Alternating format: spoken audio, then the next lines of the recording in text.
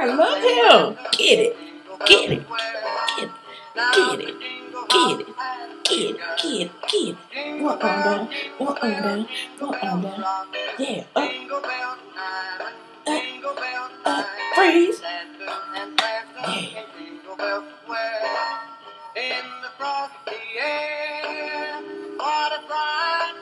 Better jam. Anyway, happy holidays, everybody. Thank you guys for entering the contest for Supermom DIY. I'm here to announce the winner.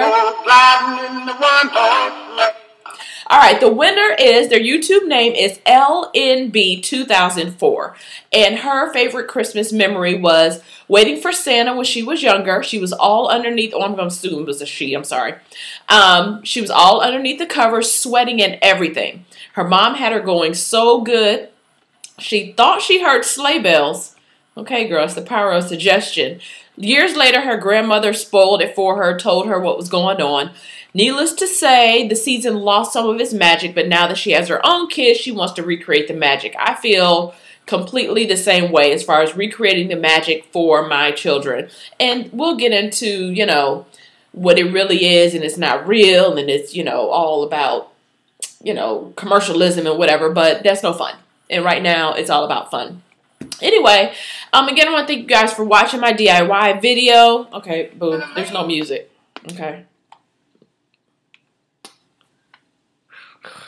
Anyway, um, I want to share with you my favorite or one of my most memorable Christmas um, holiday stories.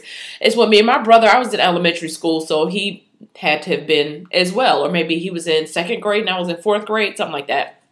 Anyway, we got up early in the morning and come into the living room to find two humongous boxes. When I say huge, I mean like washing machine size boxes. So we open up the box and there's another box. We open up that box, there's another box and another one and another one till we get all the way inside and each of us had a hundred dollars.